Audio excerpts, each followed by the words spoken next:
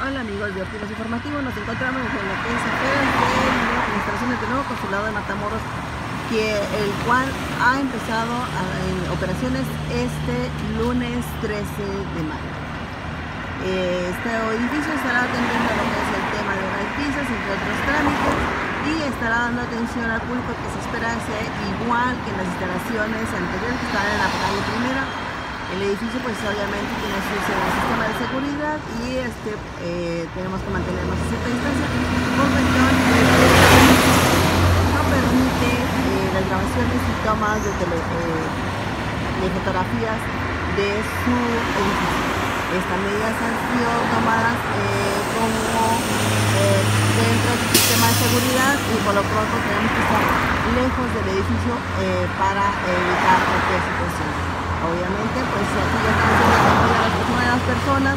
para realizar los trámites de la casa.